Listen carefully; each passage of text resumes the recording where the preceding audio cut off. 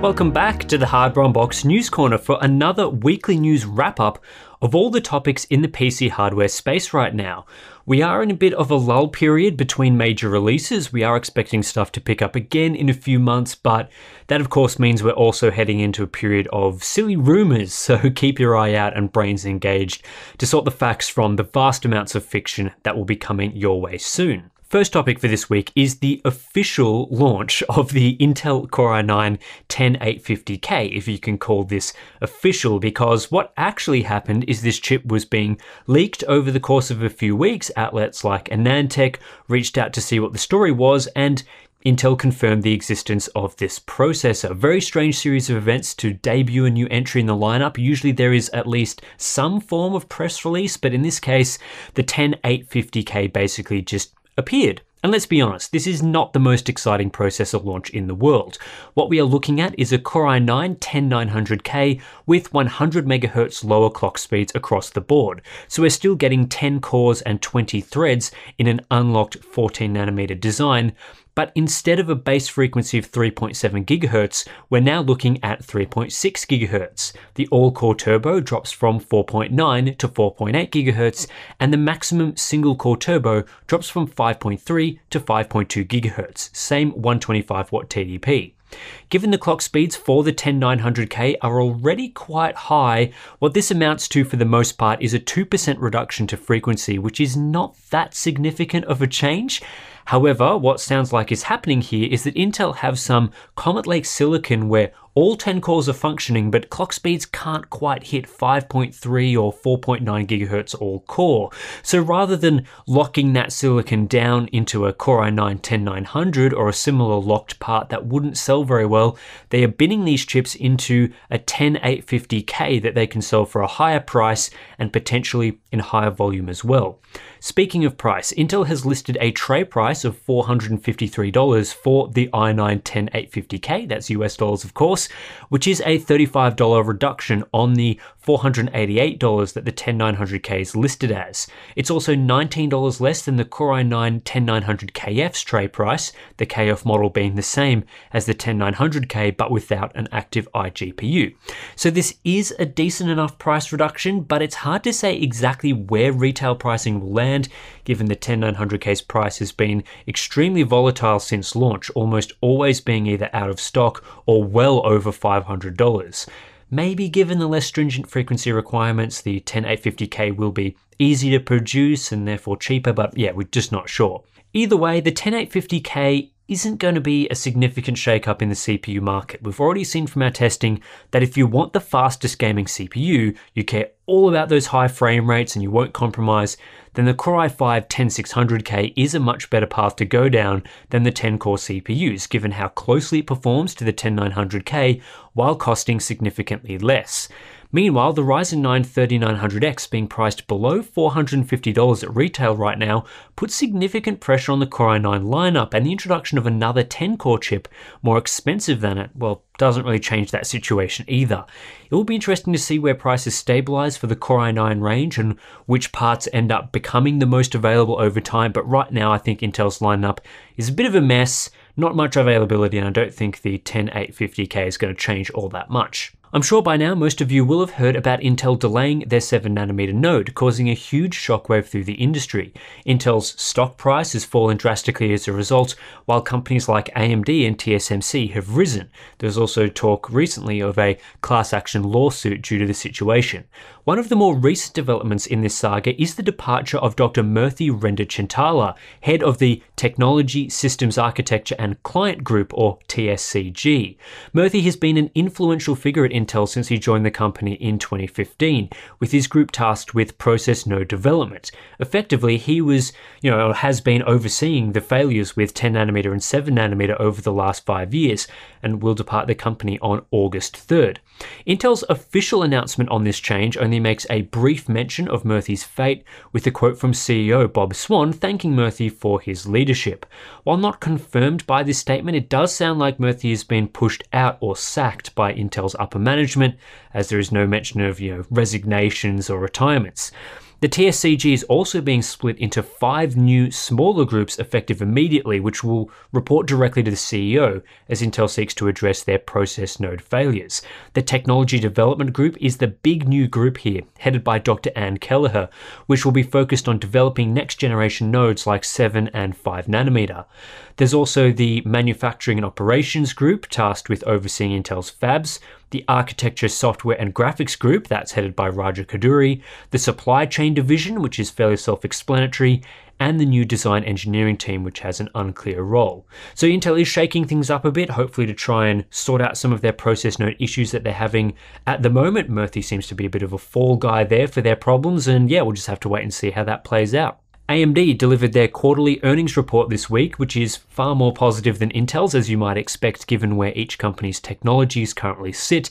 But I'm not going to dive into the numbers because I find that stuff super boring. What I am interested in are AMD's roadmaps and tidbits of information from their investor calls. As far as roadmaps are concerned, there isn't a lot to report, but that could be seen as a good thing. AMD are continuing to reiterate that Zen 3 will arrive on 7nm later this year, as will RDNA 2 GPUs and the CDNA architecture. All three are listed for late 2020, so AMD's technology is on track. If there were going to be delays or changes to the roadmap, we usually hear about it at these investor briefings, so this is a pretty good sign. According to AnandTech, AMD are saying that RDNA 2 will eventually be a full refresh of the company's GPU product stacks, and also that Zen 3 will make a debut on the desktop this year, clearing up the confusion as to whether AMD's statements around Zen 3 in 2020 are relating to server or client CPUs. We might only see limited or paper launches depending on how close AMD runs to their late 2020 statement, but AMD are sticking to their guns here. Other information out of the investor calls is that AMD are, as you would expect, shipping semi custom SoCs to Sony and Microsoft for the next game consoles, and that's expected that it will increase AMD's quarter three earnings. Quarter four is where AMD are expecting to see the impact of Zen 3 and RDNA 2 on revenue. Lisa Su also mentioned that the supply situation with 7nm remains tight at TSMC, although they are working hard to ensure they can meet demand, and Zen 4 was confirmed to be built on 5nm as well. Naturally, there is a lot of excitement around AMD's next generation products, but it still sounds like we are at least a quarter away, if not longer, from hearing any concrete information all the rumors right now point to, at least on the GPU side, Nvidia launching their next generation cards first and potentially a few months earlier than AMD. Speaking of Nvidia, the company has a new game bundle for buyers of GeForce RTX 20 series GPUs. The Frames Win Games bundle gives RTX buyers a copy of Tom Clancy's Rainbow Six Siege Gold Edition, which includes the base game and all of its maps, plus a Year 5 content pass. Part of the marketing around this bundle is highlighting that Nvidia's entire GeForce 20 series is capable of playing the game at 144 FPS or higher, which gives gamers a competitive edge over those with slower, lower frame rate capable GPUs. Again, all the usual stuff applies for these bundles, so you'll have to buy a card from a participating retailer, and the program will last only through to August 27th. It also only applies to RTX 20 series cards from the RTX 2060 through to RTX 2080 Ti. Those interested in buying a GTX 16 series product, while still perfectly capable of playing Rainbow Six Siege at high frame rates, they are being left out here. New Intel logos and branding have been spotted at the Justia Trademarks database by known Twitter leaker Momomo. It's unclear whether these logos will actually be used for anything, but they do represent a clear update to Intel's standard logos for their company and core series CPUs.